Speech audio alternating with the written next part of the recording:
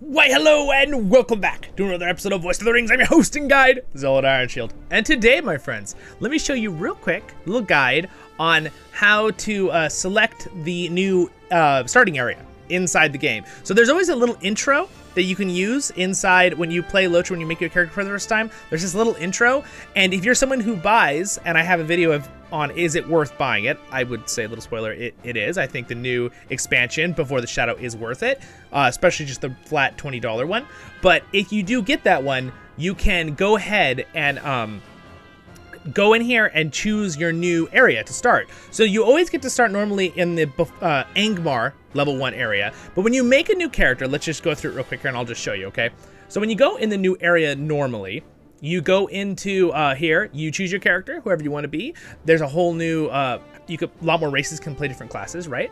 But you say continue, go through here, and you get this little thing now at the top. So this is, it's actually pretty cool, all right? So you got your little randomizer. They've added this whole new tab up here and you could randomize names. There is, uh, Lord of the Rings Online is pretty careful on what names you can use, so have fun with it, but some things it's going to say are gibberish or, you know, oh, you can't use that, inappropriate, that kind of thing.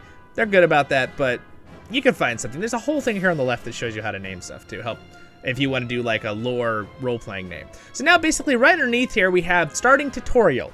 Shadows of Angmar, which is the one you'll get as a free-to-play. It's been the one in the game forever. But if you're someone who wants something new, your new player wants that new area before the Shadow expand this expansion, right? Which is between levels 1 and 32. You just click this and you can choose that. You can also say skip tutorial. Skip the new user tutorial and begin your adventure in Archet for the men and hobbits or Ered Luin for elves and dwarves. Or you can do the intro with this one where you begin your adventure and the new character tutorial tailored to your character's choice, right? Which again is special, um, it's tailored as in it's for your race. So the originals are uh, dwarves start here, elves do this one, hobbits do this one, men do this one, right?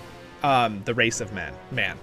Uh, before the shadow, is the new one, which basically all your characters will start in the same place. You just click it and then say okay, and there you go, you're set up. So starting tutorial, put your name and choose your wherever you want your history to be from, all your stuff, create character. Then you'll, once you create your character, I'm gonna randomize a name, I'm gonna get rid of this character in a second. Oh, that one's taken, interesting. The randomizer used one that was already taken. All right, so there we go. And now you hit enter Middle Earth, right? So we'll go ahead and enter Middle Earth real quick. You can see this is the new area, right? The new tutorial area. So um, hopefully this helps you out. If you're a new player, you're brand new, you're like, so why did I start in the old original place? You need to know that you need, when you're making your character, you actually have to choose, okay? Right there under your Speak under your name. Of how you came to this place so, safety. this Rivendell, the last homely house. Little story. sea. But speak swiftly before the shadows deepen. From where did your road lead? All right, so then you have this whole little story when you walk up to the sky. There's even some good voiceovers. Of course, you know my channel. If you're new to my channel, you don't know I have a whole series on where I do voiceovers through the game for stuff that isn't voiced, right? Because they voice some characters and others. There's big paragraphs with nothing, so that's what I do for the storytelling. Um, and then I do guides, obviously. That's why you're watching this, I hope. Um, and then when you go up to this, um, Welcome to Moss. got a nice little voiceover right there. And uh, then basically, to give you a little notice, so you start here because you chose that new one. Again, you will have to buy for 19.99 that new expansion to play in the Mossward area, and you get Swanfleet's quests and Cardolan. But don't forget, if you are free to play and you don't want to spend any money on the game, you're brand new. You can norm do the normal start, which will this one probably grayed out and not uh, won't have the choice, right? Just start in the Angmar, the Angmar one, and if you're a dwarf, you're gonna start up here at Thorin's Hall, or the elves are gonna start here down here in in um, Celondim, and then the hobbits are gonna start in the Shire. Technically, the hobbits start over in Archet, actually, and the the men, the race of man. Well, you, whether you are a male or female character, will start in one of these locations. That will be the normal Angmar, okay?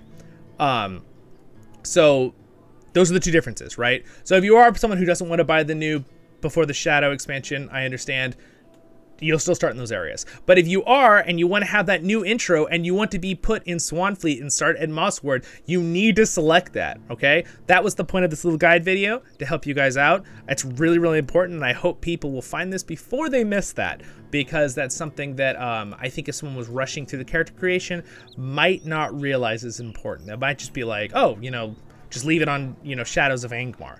And they don't realize they bought they're starting in the original area and they're not getting to start in the new Mossward area. Okay, so that was the goal of this video. I hope that helped you. Don't forget to like and subscribe if I did earn it. I do a lot of Lord of the Rings content on this channel. It's not just Lotro, but we do a lot of Lotro. So if you're a new Lotro player, you'll want to subscribe too. And thanks to my Patreon. Subscribe button's there if I earned it. Next episode will be up there in the top left, and over there will be um my Lotro tale where I do voiceovers. So see you all. Have a great day, Miller. Stay happy. And I'll see you all in the next episodes of Voice of the Rings. Baruch Kazad Kuzad I menu.